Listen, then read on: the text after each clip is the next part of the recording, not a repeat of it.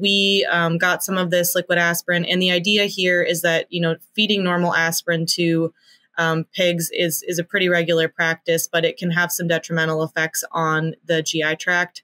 It can cause ulcers if fed in high amounts, and it also can um, have some other negative effects. But the idea with this enhanced liquid aspirin is that those um, negative effects are um, supposed to be sort of taken care of by um, the compound that's bound to the aspirin.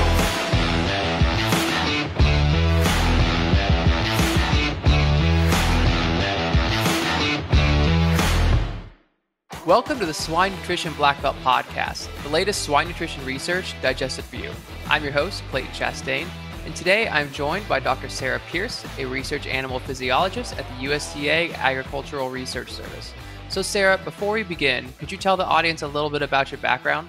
Yeah, so I will start with where I work currently, which is the National Laboratory for Agriculture and the Environment. We are located in Ames, Iowa, and we are actually right on Iowa State's campus, which is really, really great for us. And um, my background so I actually got my graduate degrees here at Iowa State. I did a master's uh, in heat stress, actually, and PhD in heat stress uh, with doctors Lance Baumgard and Nick Gabler. And then I actually kind of took a little detour before coming back and I worked in the biomedical field for a little bit. And then I came back to work with uh, pigs again at the USDA. Gotcha. So I understand at the USDA, your team has done some work with gut health and with some non antibiotic alternatives. So, to start us off, what all research has your team done on this topic? Uh, so, I'm on a team of three different researchers. We have an animal nutritionist, myself, a physiologist, and then we also have a microbiologist. And our current research project, that's a five year long project plan, is focusing on physiological, microbiological, and nutritional mechanisms to maintain animal productivity in the absence of antibiotics. And that's a really broad topic, but we have, uh, for the most part, been focusing quite a bit on uh, plant derived phenolics and pigments. And then um, my other colleague is very interested in in this field looking at um, gene transfer for antibiotic resistance. And so we have done um, a few studies that we've already completed and, and been able to publish. And then we have, uh, I think, three years left of this project plan. So we have some uh, research that we still have planned uh, to do later this year and into next year. Uh, so the first one I'll chat about is uh, we just got a, a, paper published in the Journal of Functional Foods looking at the effects of Aronia melanocarpa juice powder on hind gut function and performance in post wean pigs. So, Aronia melanocarpa are uh, a type of berry that are actually native to Iowa. Um, they have a really, really high antioxidant and anti inflammatory status, higher than even blueberries or cranberries. So, we were able to actually partner with um, some a local company who harvests these locally in Iowa. And we were able to actually get this powder to feed to pigs. And really, what we were looking at in this pilot study is just um, some kind of basic performance factors and looking at some hind gut function uh, and gut microbiota as well. And this first study, um, we really didn't find a lot of gross changes in performance, but we did find some uh, g- gene changes in intestinal function that uh, and inflammatory status that would um, hopefully lead us to some follow-up studies to explore that further. And then um, we also kind of on a s- similar vein although it's not related to phenolics we worked with iowa state and we just had another paper published looking at dietary protein level and its effects on intestinal function and inflammation so high and low crude protein and um, we just had that published in the Journal of Animal Science. And at least uh, in this study, there were really not uh, many or any negative changes associated with feeding high and low crude protein on things like intestinal function and um, uh, colonic metabolites, so VFAs and amines and um, kind of related compounds. So those are just the first two studies that we have published in this uh, project plan, but we also later this year have a study that we are kind of working right now on writing up all the IACUC forms for that we want to look at a bunch of different uh, phenolics, um, phytogens, so some commercial, some not. And we would like to be able to do a much bigger study to kind of chase down this question of um, can some of these plant derived compounds be used in the absence of antibiotics to um, kind of maintain gut health and maintain performance uh, because the USDA has had uh, quite a big push to, um, I guess, in this area to move away from the use of antibiotics wherever possible. Gotcha. So we chatted about this a little bit ahead of time before we actually started recording. But during that time, you mentioned that there was an aspirin product that you guys were doing some research on. So, what all was involved with that? Yeah, so um, we had um, someone reach out to us that was sort of interested in testing.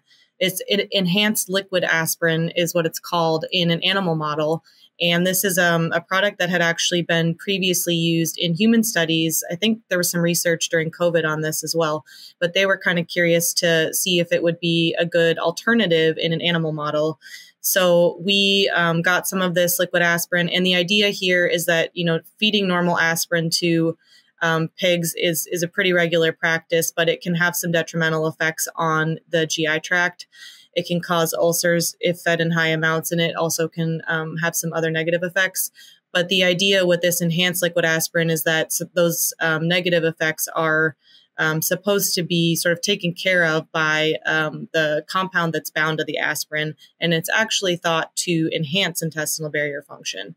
So we did a very, very small um, pilot study where we gavaged this liquid aspirin for five days um, in uh, just post wean pigs, and these pigs were not um, challenged with any sort of bacteria or virus. They were just um, our commercial pigs. But we just looked at some very basic things like um, growth performance. And we also looked at some intestinal function markers, um, morphology of the GI tract. And the preliminary data shows that it uh, may increase body weight. But again, we only did it for a few days. And so we would like to follow up on that. And it also looks like it may increased villus length in, in the intestine, so may increase surface area, and there's some indication that it may have an effect on appetite. So we would like to, you know, continue to follow up with that and explore that further. But that was um, some interesting preliminary data. And you did say that this work is a little preliminary, so maybe this is a little bit too early to ask. But normally with aspirin, you use that for lameness or stiffness that you may see as they're getting a little bit closer to market size. Um, do you think that this product could be used in a completely different approach earlier on to promote gut health and growth promotion? Or will it still be used for lameness in the later stages, but with that extra added benefit? Yeah, I think this would be, I don't know if it would necessarily be a replacement for using normal aspirin for um, what you're talking about, but uh, in the realm of non antibiotic alternatives, if we're thinking about how to get pigs that are just post weaning sort of off on the right foot and um, getting them to grow better, this was sort of the idea is to give it to them pretty early on and sort of track the growth uh, over a longer period of time to see if that um, weight gain actually continues. And so it's more of a non antibiotic alternative, even though it is an aspirin. So I know that sounds a little bit confusing, but um, yeah, it would probably be fed earlier on. And there's some potential to maybe look into putting it in water lines, but you know, we started very, very small t- right now. So not just with the aspirin, but with everything that you guys are doing, with also the phenolics and the pigments, what are what do you believe are the next steps for your line of research? Are you looking to collaborate with other universities or commercial sized farms, or what do you believe needs to be the next step in order to further develop these products and understand them further? Yeah, so we currently work quite a bit with Iowa State University, and we also work uh, right down the street from us is the National Animal Disease Center in Ames. And so we've worked with them, but we are um, always open to collaborating with other universities, industry partners, other government partners. Um, just because we have, a, we're a very small unit, we're a three scientist unit.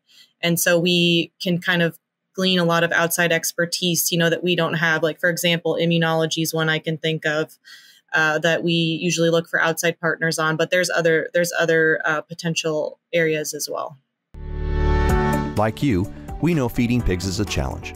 At Alltech, our proven specialty ingredients work to solve your toughest challenges.